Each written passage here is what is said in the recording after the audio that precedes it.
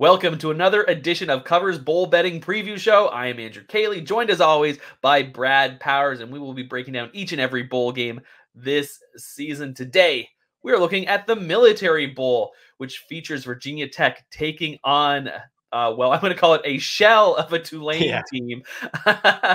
this matchup obviously looked a lot better a few weeks ago but uh, between the transfer portal and the coaching changes, this looks like one of the more pillaged teams this offseason. Um, Willie Fritz basically took his entire staff and is heading to Houston. Uh, while Virginia Tech, on the other hand, saw some good improvement down the stretch. What's the play here, Brad? Like Virginia Tech, and I know we do a video on all the bowl games, but this would be one of my favorite bowl bets of the bowl season uh, for a variety of reasons. Let's start on the Virginia Tech side. Ascending, second year coach, got the bowl eligibility. It's a big deal for them to finish off with a winning season. You don't believe me? Look at what they did to their rival, Virginia, in the finale to get the bowl eligibility. They're the hammer their rival. And you mentioned it. Uh, you, we did a show together earlier when I gave out this pick.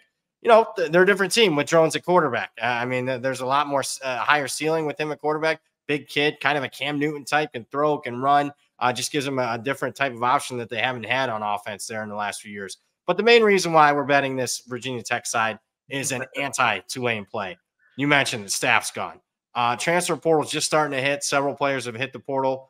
I'm telling you, I'm pretty sure Michael Pratt's going to announce that he's not going to play in the game. That's not appropriately priced in at this current number. And if he is out, there are rumors that Tulane's going to have to be down to a fifth string quarterback because the backup, the two backups have hit the portal. The other two backups are injured. So a fifth string quarterback here, not good news against that Virginia Tech front. So uh, let's lay the points here with uh, Virginia Tech. I think it's a blowout.